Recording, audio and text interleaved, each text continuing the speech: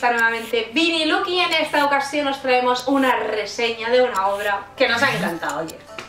Pasaros también por su canal ya que tenéis las primeras impresiones de una obra manga precisamente nueva, ¿no? Prehistórica. Ah, ah, pero que para nosotras casi que sí. No por compra, por compra... Eso. Eso es mi casa. ¿Y qué teléfono es ese? ¿De los niños? ¿Tu móvil? No tengo ni idea. El, el interfono no. No voy a ir. Tiene un tono de película. De, de, de, total, yo no voy para allá. Pero más que de noche. En fin. Lo que decía, no de compra, porque de compra la teníamos ahí en nuestra estantería preciosa divina cogiendo polvo, pero sí de lectura ya, por fin. Efectivamente. Eso en su canal. Pero quedaros aquí si queréis un buen salseo, un buen hate, porque era mentira eso de que es una buena obra y que nos ha encantado y que estamos divinas. No. No. No. Una obra. ¿Por qué?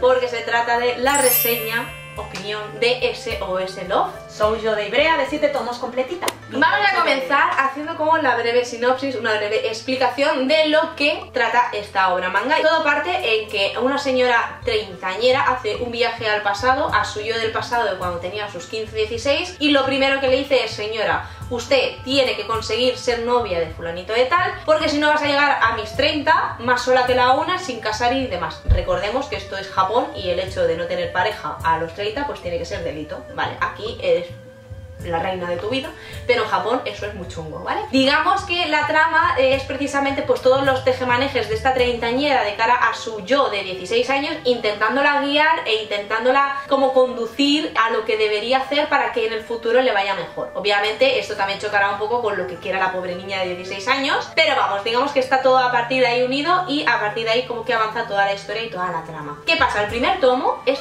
divertidísimo, o Sí. sea, nos encantó, ya lo sabéis. En su canal, de hecho, tenéis un vídeo en el que os dábamos nuestras Wow. primeras impresiones. Y es que estamos ahí sí, maravilladas y encantadas. Yo, de hecho, he pensado, bueno, pensaba por ese momento que eh, iba a ser un sollo Sí. muy top y muy Nos recomendable. o sea, Tanto a nivel de dibujo, historia, personajes, el humor era. el ritmo de narración, que sí que es verdad que teníamos el típico miedo ese de ay madre, luego cómo nos vas a explicar el tema este del viaje en el tiempo, porque esto siempre luego suele fallar, pero bueno, si toda la trama y todo lo demás hubiera sido fantástico, esto nos hubiese dado relativamente igual, siempre y cuando no me expliques algo raro. Sí, que al final el tema no quedó tan mal. No, no, no, al final es lo que ha quedado mejor. ¿Qué ha pasado? ¿Qué ha pasado? Creo que todos lo sabemos y es ese fatídico tomo número 5. Tiene mucho peso. Sí que es verdad que puedo entender que ese tomo 5 fuese necesario porque es verdad que llega un momento en que la historia se vuelve algo tóxica, sobre todo la relación entre los personajes, sin entrar en spoiler. Y creo que sí que a lo mejor era necesario el hacer algo para que estos señores se diesen un tiempo, maduraran y si eso volviesen. Hasta ahí todo correcto. Pero lo que ya no entiendo es por qué es todo el santo tomo número 5 tan tóxico. Para mí es que es el tomo entero. Creo que no se salga nada. No. Entonces, para poder explicar bien el qué, ahora pasaremos a la parte con spoilers. La gente que no haya leído o no se quiere enterar, por favor, dejar aquí un poco el vídeo porque es verdad que hemos hecho la introducción de lo que es al principio Exacto. y el que nos parece un poco mal tomo 5, pero ahora sí que tenemos que entrar a destajo el qué y el por qué. Antes, si no, lo únicamente añadir que el hecho de que aparte de que el tomo 5 pues es como que te emborrona todo lo bueno, porque era fantástico hasta el tomo 4, aunque luego tiene ese tomo 6 y 7 que pensaos, bueno, a lo mejor puedes remontar, es un quiero y no puedo. ¿Por qué? Porque el tomo número 6 sí que es la continuación exacta, pero es solo un tomo, ya que finaliza y el tomo 7 no deja de ser un tomo extra, con alguna historia que sí que puede ser de los protagonistas de la historia principal en la actualidad, pero lo demás es todo extra totalmente. Entonces, no son ni siquiera dos tomos continuación para intentar mejorar o aclarar tomo 5, no. A fin de cuentas, cuando lo lees todo al conjunto, lo único que te acuerdas, o al menos en, nuestra, en nuestro caso, es de esa mierdecilla de tomo 5, de esa toxicidad que aparece todo ahí y entonces no disfrutas la obra en sí. Y ahora sí, vamos al detalle. Spoiler.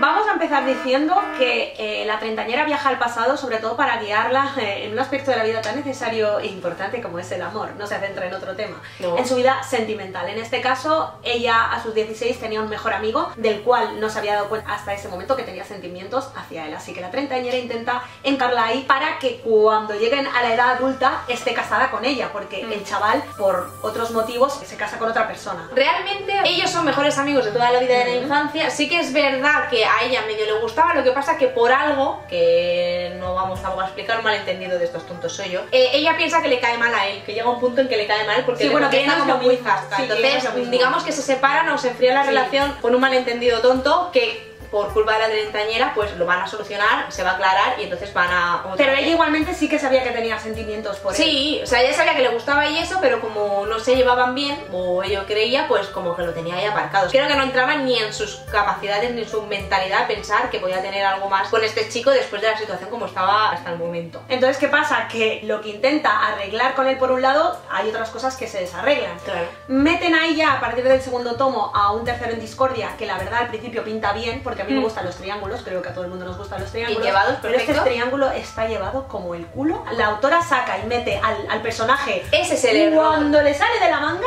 Ese es el mío, error, que no, lleva una no, no, continuidad. no, y parece un, un pelele, parece como si estuviera ahí para cuando lo necesite. y Que luego en un tomo le da mucha importancia porque en un tomo parece ser que Mm. él también tiene algo que ver con el viaje Sí. al pasado y todo eso y demás. Luego hay otro tomo en el que ni aparece. No, Entonces exacto. llega, no llega a ser nunca triángulo amoroso Por- por eso, no. Porque está y no está. Sí. ¿Vale? Entonces. Y todo mm, le parece bien. Exacto, es parece verdad bien. que no sé si en el primero o en el segundo tomo hay alguna cosa que dices, ostras, no sabía quién, si lo llevara bien, no sabes a quién elegir Sí, sí, porque, porque tiene un carácter, carácter, sí. exacto, tiene un carácter también que gusta, pero es lo que decimos, luego igual llega el tomo número 3, no aparece en todo el tomo, Es muy raro. Luego aparece el tomo 4, entonces te enteras de que tiene algo que ver con el tema del viaje al pasado de la treintañera. Entonces la treintañera llega también un punto que le dice, olvídate de, de tu amigo en la infancia, líate con este. Un follón, Exacto. un percal. Entonces, en cuatro tomos te condensan un follón y un triángulo amoroso súper mal llevado, eso sí, con muchas dosis de humor. Mm. Sí. Y además el prota Que es eso hubiera majo. sido perdonable. Sí, sí, sí, hubiera sido perdonable. Y el prota es súper majo. Sí. Es genial. Sí, es un prota de 10. Si no es el típico que uno sea tope de malo, asqueroso y demás. Y... No, no, no, no, no. Son dos personas bellísimas. Sí, pero claro, llega el quinto tomo en el que por fin están juntos, que dices, ostras.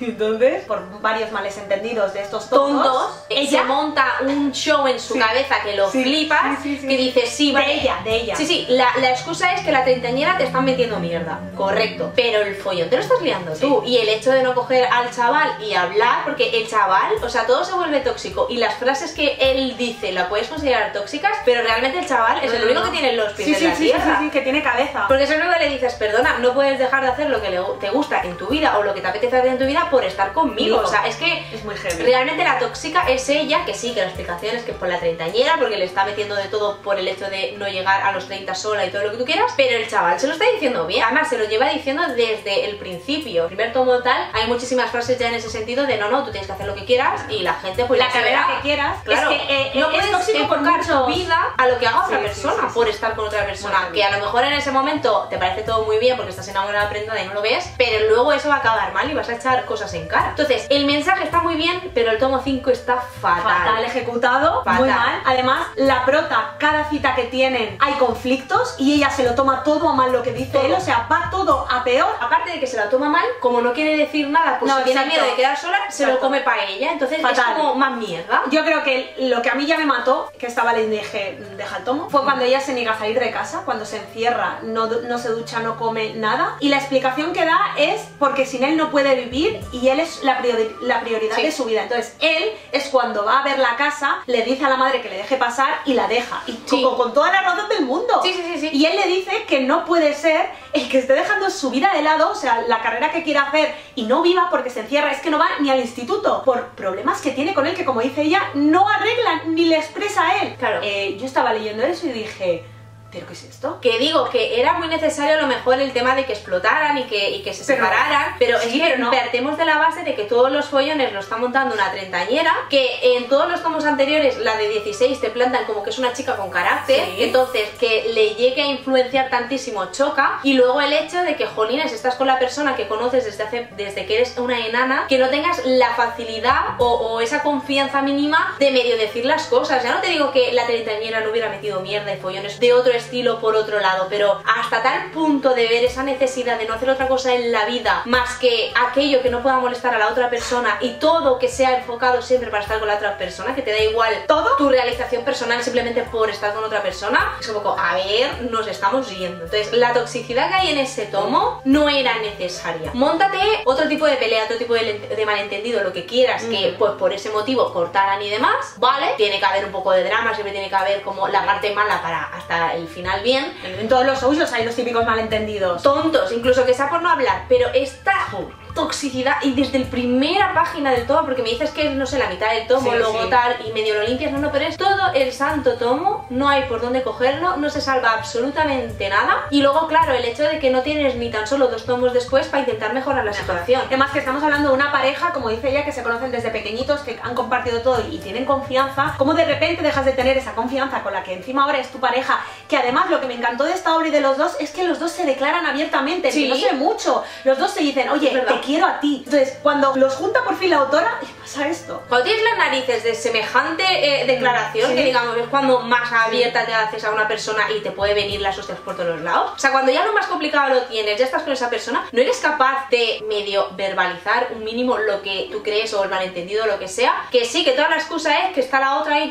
pero no sé, si no le has hecho caso anteriormente, porque ella empieza a salir con este chaval cuando la treintañera le está diciendo que no lo haga, que salga con otro. Entonces, si no le haces caso en ese sentido y empiezas una relación, ¿qué más te da lo que te esté diciendo ya? Vive tu vida ya en ese sentido, déjate a la treintañera que haga la suya. Efectivamente. Y luego ya digo, los tomos siguientes no ayudan porque hay un tomo muy que... rápido. Pues me tengo que creer que se han arreglado y ya está. Y el otro tomo no deja de ser una, algo extra. El otro tomo sí que es verdad, la historia esta te la plantan como de no, somos muy jóvenes, ya veremos, hay mucha vida. O sea, ahí sí que te la dejan como muy abierta, muy normal. Y luego hay historias extras que no te interesan un rollo porque tú estás pensando, sigues pensando en ese quinto tomo y en la cagada. Entonces, ¿qué pasa con esta obra? Pues eso precisamente, que son siete tomos de los cuales solo recuerdas la mierda del 5. Hasta el 5 era una obra muy buena. Maestra. O sea, era buenísimo. Era muy buena, era muy buena porque Pero- era el ritmo narrativo, el humor, era, Sí. era todo que, que lo leías, pero además súper rápido, no se te hacía pesado en ningún momento. Entonces, claro, el tomo 5 fue una hostia en toda la cara. Sí. Y si tenéis la suerte de leer la obra del tirón, mejor, porque Sí. vais a tener la continuación tal, pero yo me pasé dos meses ahora dándome cabezazos con la pared hasta que leí el tomo 6 y no me pareció nada del otro mundo y cuando el 7 descubro que era un extra.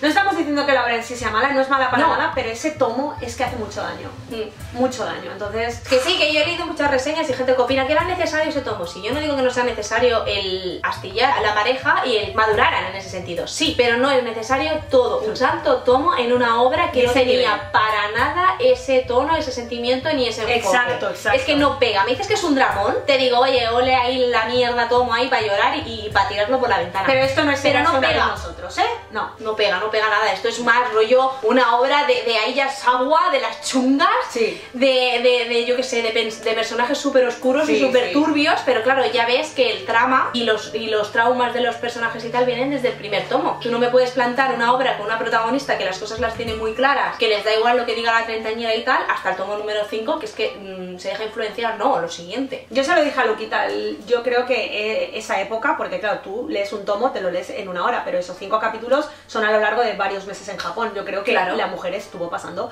por algo chungo. No tiene lógica ese cambio tan drástico. Porque esto no deja de ser un sollo adolescente, tal, humor y demás, y esto es dramón. O sea, ese tomo es un dramón Total. Y, y además tóxico, ¿vale? Porque de hecho yo mientras lo leía iba haciendo capturas y lo subía a Instagram y la gente no enfocaba muy bien de qué obra se trataba porque es que no tenía nada. nada. Nada que ver. Es que eran unas frases que, claro, sacadas de contexto, es que eran brutales, o sea, brutales. Nos gustaría saber también qué opináis vosotros si la habéis leído, si Exacto. veis esto tan drástico como lo vemos nosotras o no, lo veis diferente, que también nos gusta leer opiniones diferentes. A ver, Por supuesto. Un debate. Vamos a ver Sí. un debate desde el respeto y demás. Ver si lo habéis leído y qué pensáis sobre todo de ese tomo número 5. efectivamente. si era necesario tal cual o, o puede haberlo hecho un poquito más light y un poco más en sintonía en la obra en general. Sí. Bueno, y nada más, esta sería nuestra opinión sobre esta grandísima obra, soy yo. Que nos duele en el alma, o sea, nos duele más a nosotras decir Mm. que es una mierda que no, porque es que es algo que íbamos recomendando desde el primer momento y mirar ahora que chusta, pero Sí. bueno. Pasaros también por su canal para conocer nuestras primeras impresiones de una obra de ahora, de, de hoy día, se publicó ayer.